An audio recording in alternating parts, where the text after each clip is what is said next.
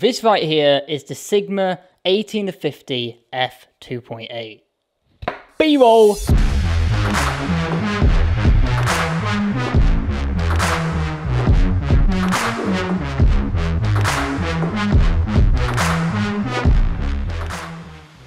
This lens was released a little over a year ago and it's still currently Sigma's only zoom lens for Sony APS-C cameras and it's leading in its class with a lightweight and compact design. What makes this lens even more impressive is it can stop down to f2.8 whilst delivering lightning fast autofocus, incredible image quality and bonkers macro capabilities. So the real question here, is this the best zoom lens for Sony APS-C cameras? Recently I was down in London and I shot a ton of photos and videos with this lens to get a real good sense of how it performs out in the real world and share with you my hands-on experience. Full transparency here, I did ask Sigma to send me out this lens for testing purposes and they were more than happy to oblige, but unfortunately I don't get to keep this lens, but I am at liberty to say whatever I want about it. They don't get to review this video before it goes live or have any input in the final video.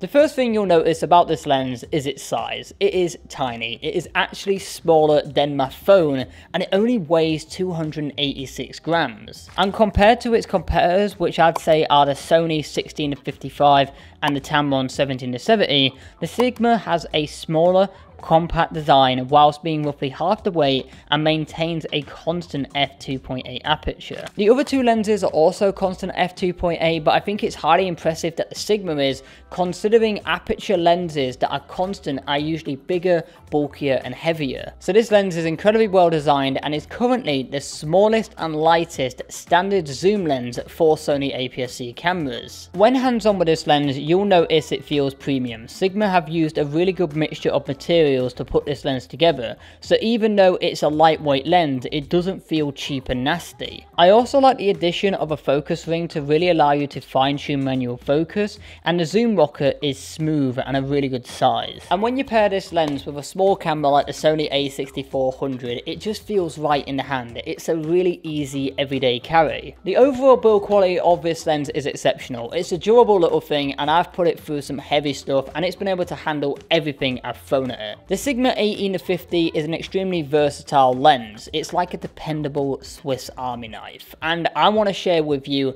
some photo examples to truly show you the photo capabilities of this lens. First off, on the wide end, you can use that 18mm to photograph some stunning wide shots, making it ideal if you wanted to do some architecture or landscape photography. Zoomed all the way in at 50, you'll have plenty of reach for a variety of shooting scenarios. I think this lens is ideal if you want instrument for travel or even just everyday use. I've been primarily using it for street photography and for me, this is where I've seen the versatility of this lens come into its own.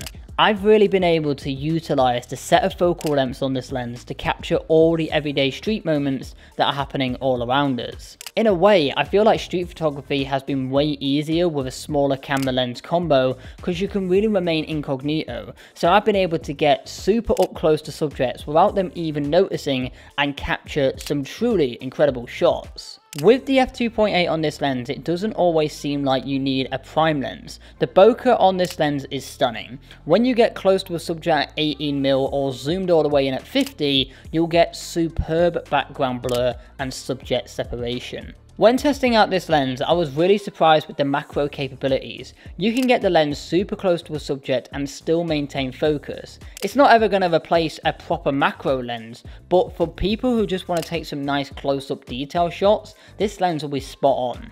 Image quality is something I've always been impressed by when it comes to Sigma lenses, from lenses I've used or lenses I've owned. Every single one of them I've ever used has always delivered in this apartment department department, not in this apartment, not here specifically. With this particular lens, I think Sigma were quite ambitious because they were trying to reduce the amount of glass elements that they were using while still providing stunning image quality and whilst reducing the weight. And they absolutely nailed it. At all focal lengths, this lens is crazy sharp and it is going to deliver you some stunning results.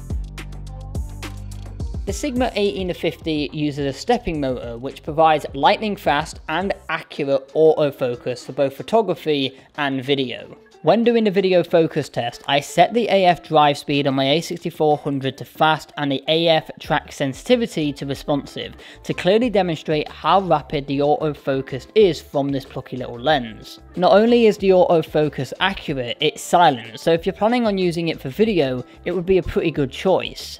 In my opinion, there is only one drawback with this lens, and that is the lack of optical steady shot. I think a few people are going to be disappointed by this, however, from my own personal experience from using it for the last couple of weeks, I never felt like I needed it for photography. f2.8 is sharp enough that in most shooting scenarios you can maintain a fast enough shutter speed to get sharp results. If you are planning on using this lens in lower light situations, then you may begin to struggle, but I can see why Sigma decided not to put OSS in this lens, and that's simply for the purposes of keeping the weight and size to a minimum. However, if you're a video shooter, not having OSS could be a deal breaker. I would personally say that this lens is far better than the standard kit lens even though that does have optical steady shot but that's purely on the basis that this lens is sharper and it has a constant f2.8 aperture. As someone who shoots a lot of video, having a sharper lens that is constant is far more important than a lens with optical steady shot. There are two workarounds I see for not having a stabilized lens. The first one is shooting in higher frame rates such as 60 or 120 FPS and slowing it down in post. Alternatively, picking up a gimbal could be a good route to take and if you're going to be doing paid gigs with it, having a gimbal is a must nowadays anyway. For me personally, the lack of OSS is the only drawback to this lens, but honestly, if I was using it just for photography, then I wouldn't care, and I'd say that this is the best all-round zoom lens for Sony APS-C cameras. What makes this Sigma lens even more impressive is the price. You can pick one of these up, brand new, from Amazon for only £429, that's roughly $499. It's got a budget price tag to it, but it certainly ain't a budget lens, and compared to its competitors, the Sigma also beats it in this department as well, being roughly £250 cheaper than the Tamron 17-70 and a whopping jaw-dropping £594 cheaper than the Sony 16-55. You could buy this lens, lose it, then buy another one and still be better off than buying the Sony 16-55. That's kind of mad to think about. If you want to check out this beastly almighty little lens for yourself, I've left it linked in the description below. It is an Amazon affiliate link, so if you do buy through that link, it costs you nothing extra, but I do get a little bit of kickback, a little bit of wonga from that, and it just helps support the channel. Overall, this lens is fantastic. By no means is it perfect, but honestly, what lens is? The Sigma 18-50 is well designed, it's perfect for travel, versatile and ridiculously compact, whilst providing photographers and video shooters all the tools required to capture some stunning visuals. If you are someone on the market who is looking for a high premium quality zoom lens that isn't going to break the bank but is going to allow you to take your content to the next level, then I'd highly recommend checking out this lens for yourself. So there you go, I hope this video has been informative and it's been helpful, but the last thing we're going to do today is have a look through the hashtag CP photos and see what you guys have been creating. Screen recording is going and the first one we're going to have a look at is this one here by Photos 18. This is a very beautiful vista and I like that very random tree right there with different colours. That is pretty cool. Lovely landscape shot. Great way to kick things off. This is a pretty cool shot right here by Flip. Really cool uh, bike shots right here. I like the aesthetics. I like the tones. Nailed it. That black and white one's pretty cool as well. All of these are pretty sick. This is an absolutely stunning sunrise or sunset. That looks like the Sahara Desert because I've seen a sunrise at the Sahara Desert and it was the most beautiful sunrise I've ever seen and this is shot by Gaston with an iPhone 14. Very impressive stuff.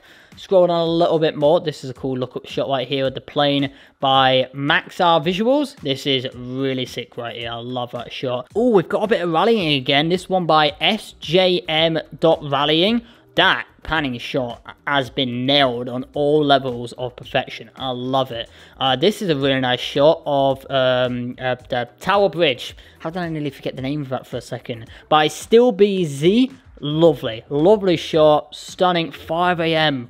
You, you committed waking up that early, mate. And we're going to have a look at two more photographs today. The first one being this one by MC Visuals. Now, that is a perspective I've never seen before, and it is stunning. And in black and white, That is absolutely gorgeous. What an angle, what a shot. And the final one we're going to have a look at today is this one of this Lamborghini by Pier 23. Um, oh, what a Lambo indeed. A classic beauty and captured on all levels of perfection. Absolutely stunning frames. A massive shout out to everyone continuing to use the hashtag CP Photos over on Instagram. If you're not using it, get involved and your work might be featured here on the channel. But with all that said, that is where I'm going to be leaving today's video with the Sigma 18-50. What are your thoughts on this lens? Let me know in the comment section below. And if you did like today's video, if it was helpful, make sure you hit the like button, subscribe, turn on the bell icon so you're notified whenever I release a new video. But the last thing I'm going to say today, guys, is until next time, create, create, explore, and inspire. And I'll see you in the next one. Laters.